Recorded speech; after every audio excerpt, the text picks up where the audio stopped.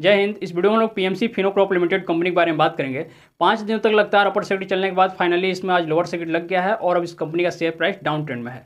हालाँकि आप कहेंगे कंपनी का शेयर प्राइस तो बहुत पहले से डाउन ट्रेंड में है, ये बताइए इस ऊपर कब जाएगा? जी तो इस वीडियो में हम लोग बिल्कुल यही जानने का प्रयास करेंगे कि लोअर सर्किट कितना लंबा चलेगा तथा इस कंपनी का शेयर प्राइस और कितना डाउन जाएगा। एनालिसिस के थ्रू मैं आपको ये बताऊँगा कि कंपनी का फ्यूचर क्या है, साथ में यह भी कि हमें कब तक इस कंपनी में ठहरना मुनासिब होगा। हर एक चीज़ का जवाब मिलेगा आपको बिल्कुल आसान भाषा में। आप बने रहिए मेरे साथ इस वीडियो को लास्ट तक। आइए वीडियो शुरू करते हैं। देखिए दोस्तों पीएमसी फिनोक्रॉप लिमिटेड जो कंपनी है, एक फाइनेंस सेक्टर की कंपनी है और फाइनेंशियल प्रोडक्ट्स की डिलीवरी तथा मार्केटिंग का काम करती है। साथ में फाइनेंस सेक्टर की कंपनी है तो स्टॉक मार्केट में भी डीलिंग और इन्वेस्टमेंट का काम करती है। काम समझ गए? आइए फंडामेंटल देखते हैं। इसका मार्केट कैप है तीन सौ अस्सी करोड़ मार्केट कैप कुछ ज़्यादा नहीं, अर्थात एक पेनी स्टॉक है। शेयर प्राइस है सात रुपया, आज के दिन का शेयर प्राइस है और अभी है डाउन ट्रेंड में, अर्थात नीचे की तरफ़ जा रहा है, क्योंकि लोअर सर्किट लगा है तो नीचे ही जाएगा। हाई लगा चुका है ग्यारह रुपये अड़तालीस पैसा का, अर्थात इस कंपनी का शेयर प्राइस अधिकतम यहाँ तक आया है। यहाँ तक आने के बाद डाउन होकर आया है सात रुपये के आसपास। और सवाल यह है कि आखिर इतना डाउन क्यों हुआ और दूसरा और कितना डाउन हो सकता है? तो इसी का जवाब इस वीडियो में ढूँढने का कोशिश करेंगे। फ़िलहाल ये समझिए कि एक समय कंपनी का शेयर प्राइस अड़सठ पैसे का हुआ करता था। अड़सठ पैसे से उठकर इस कंपनी का शेयर प्राइस आया ग्यारह रुपये अड़तालीस पैसा के आसपास तक। तो ज़ाहिर सी बात है कि अड़सठ पैसा से ग्यारह रुपये अड़तालीस पैसा के आसपास आया तो इसमें ऑपरेटर्स का भी हाथ रहा होगा। बिना ऑपरेटर्स का अड़सठ पैसा से ग्यारह रुपये के आसपास तक आना इतना कम समय में पॉसिबल नहीं है। और पेनी स्टॉक है तो इसमें ऑपरेटर्स गेम खेलते हैं। हालाँकि मैं बार बार कहता हूँ ऑपरेटर्स का होना बुरी बात नहीं है, क्योंकि ये ऑपरेटर्स वो लोग होते हैं जो किसी भी कंपनी के शेयर प्राइस को उठाते हैं। ये समझिए कि इसमें नुकसान किसको हो रहा है? जो लोग दस रुपये के आसपास बाई किए होंगे या उससे ऊपर बाई किए होंगे। अड़सठ पैसा का शेयर अड़सठ पैसा से लेकर पाँच रुपये तक जिन लोगों ने इस कंपनी को बाई किया होगा, इस कंपनी के शेयर को, उनको तो फ़िलहाल कोई लॉस नहीं हो रहा और उनको लॉस होगा भी नहीं, क्योंकि इसका सपोर्ट लेवल है छः रुपये के आसपास। अर्थात डाउन ट्रेंड में यह आएगा छः रुपये के आसपास, उसके बाद लोअर सर्किट ब्रेक होगा अपर सर्किट लगेगा या अपर सर्किट नहीं भी लगेगा, फिर भी सपोर्ट लेवल तक आने के बाद इस शेयर प्राइस उठना शुरू हो जाएगा। अब समझिए कि आखिर इस कंपनी का जो शेयर प्राइस में कुछ दिनों से डाउनफॉल जारी है तो इतना नीचे क्यों जा रहा है? इसके पीछे के कारण आपको मैं बताता हूँ, समझिए।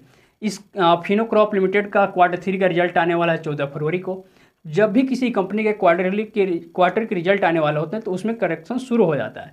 तो वह भी इस कंपनी में भी है। और चूँकि यह पेनी स्टॉक है तो जब लोग इसमें कलेक्शन शुरू किए हैं तो थोड़ा सा डाउन इसको जाना शेयर प्राइस स्वाभाविक है। और दूसरा कारण है कि मार्केट अप डाउन जा रहा है। आपको पता है, बहुत दिनों से आप देखेंगे, शेयर बाज़ार में स्टेबिलिटी नहीं बन पा रही है। सेंसेस और निफ्टी उछाल लगा रहे हैं, लेकिन वहाँ स्थिर नहीं रह पा रहे हैं, फिर लुढ़क जा रहे हैं। तो मोटा मोटी ये कारण है। इसके अलावा आप देखेंगे लास्ट क्वार्टरली रिज़ल्ट की बात करें तो पिछले जो तीन क्वार्टर के रिज़ल्ट जब मैं एनालिसिस कर रहा था तो देखा कि लास्ट तीन क्वार्टर के जो कंपनी के रिज़ल्ट आए हैं, बेहद अच्छे आए हैं। उसमें कंपनी का हर एक चीज़, चाहे मुनाफा हो इनकम अर्निंग पर हर एक चीज़ बढ़ा है वह पॉजिटिव है सिर्फ़ क्वार्टर टू और क्वार्टर वन की बात करें इससे पिछले क्वार्टर में देखेंगे कंपनी का जो प्रॉफिट आफ्टर टैक्स होता है, जिसको शुद्ध मुनाफा कहते हैं छियालीस लाख से बढ़कर एक करोड़ सोलह लाख के आसपास हो गए, सिर्फ़ तीन माह में। अर्निंग पर शेयर देखेंगे तो ज़ीरो पॉइंट ज़ीरो वन से बढ़कर ज़ीरो पॉइंट ज़ीरो टू हो गया। अर्थात इसके क्वार्टरली रिज़ल्ट जो आने वाले हैं, वो बेहतर आने की उम्मीद है। फिर भी लोग कलेक्शन कर रहे हैं क्योंकि उनको मार्केट के सेगमेंट पर भरोसा नहीं ऐसा लग रहा है कि क्वार्टर थ्री के नतीजे आने के बाद भी शेयर प्राइस डाउन जा सकते हैं तो लोग अपना प्रॉफिट बुक कर रहे हैं। हालाँकि इससे घबराना नहीं क्योंकि कंपनी के फंडामेंटल ठीक है और फ्यूचर भी ठीक है। इसलिए अगर आपको इसमें नुकसान हो रहा है तो आप क्या कर सकते हैं? आप इसमें एवरेजिंग कर सकते हैं। एवरेजिंग अर्थात थोड़ा थोड़ा करके बाई कर सकते हैं, जैसे जिसका शेयर प्राइस डाउन जा रहा है। क्योंकि अगर कम्युनिटी सेगमेंट देखें तो नवासी परसेंट लोग इस कंपनी के शेयर को बाई करने के लिए बोल रहे हैं। क्योंकि इनको पता है, ये कंपनी फ्यूचर में डूबने वाली नहीं। फाइनेंस सेक्टर की कंपनी है। फाइनेंस सेक्टर की कंपनी कभी बर्बाद होने की कोई उसके चांस नहीं है। जहाँ तक मुझे इस कंपनी पर भरोसा है। और नवासी परसेंट लोग बाइक करने के लिए जब कह रहे हैं तो कुछ ना कुछ सोच के ही कह रहे होंगे। इसलिए अभी शेयर प्राइस डाउन जा रहा है। अगर आप एवरेजिंग करना चाहते हो तो एवरेजिंग भी कर सकते हैं। जो नए लोग हैं एंट्री लेना चाहते हैं, वो भी एंट्री ले सकते हैं। दूसरा बात सिक्स परसेंट लोग होल्ड करने के लिए कह रहे हैं, इसका मतलब कि जब अभी मार्केट डाउन जा रहा है तो अभी आप बाइक कर लीजिए। जब ऊपर जाएगा, उसके बाद बेच कर निकल जाएगा। होल्ड इस कम देखिए पेनी स्टॉक में ज़्यादा समय तक होल्ड करने के लिए कोई सलाह नहीं देता है। इसमें ऑपरेटर्स गेम खेलते हैं। ऑपरेटर्स कंपनी के शेयर प्राइस को लेकर ऊपर जाते हैं तो हमें ऑपरेटर्स के साथ साथ ऊपर चलना है।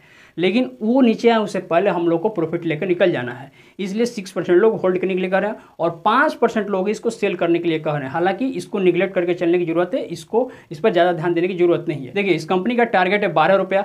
आपको पता है सिक्स रुपये इस कंपनी का सपोर्ट लेवल है। यहाँ तक आने के बाद इसका शेयर प्राइस ऊपर की तरफ़ जाएगा। ऊपर की तरफ़ जाएगा तो कहाँ तक जा सकता है? बारह रुपये के आसपास तक जा सकता है। तो अगर जो लोग अभी इस कंपनी के शेयर को बाई करेंगे, मान लीजिए छः रुपये पर बाई करेंगे, बारह रुपये इसका टारगेट है, लगभग दुगुना का प्रॉफिट हो जाएगा। तो आप वहाँ पर बेच के निकल जाइएगा। ऑपरेटर्स एक्टिव हैं इस कंपनी में, क्योंकि ऑपरेटर्स हर एक पेन शेयर में एक्टिव होते हैं तो इसमें भी होंगे, है ही, इसमें कोई शक नहीं है। लेकिन ऑपरेटर से हमें डरना नहीं हमें इनके साथ साथ चलना है। आप देखेंगे कंपनी के ऊपर कर्जा बिल्कुल नहीं है। रिज़र्व की बात करें तो बाईस करोड़ का इस कंपनी के पास रिज़र्व है। इसलिए फंडामेंटल की कोई चिंता नहीं है और फाइनेंस सेक्टर की कंपनी तो फ्यूचर की भी कोई चिंता नहीं है।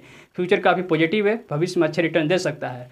तो उम्मीद करता हूँ मैं जो बताना चाह रहा था आपको समझ में आया होगा। मन में कोई सवाल है तो मुझसे पूछिए। बाकी मिलते हैं नेक्स्ट वीडियो में। तब तक के लिए धन्यवाद। शुक्रिया।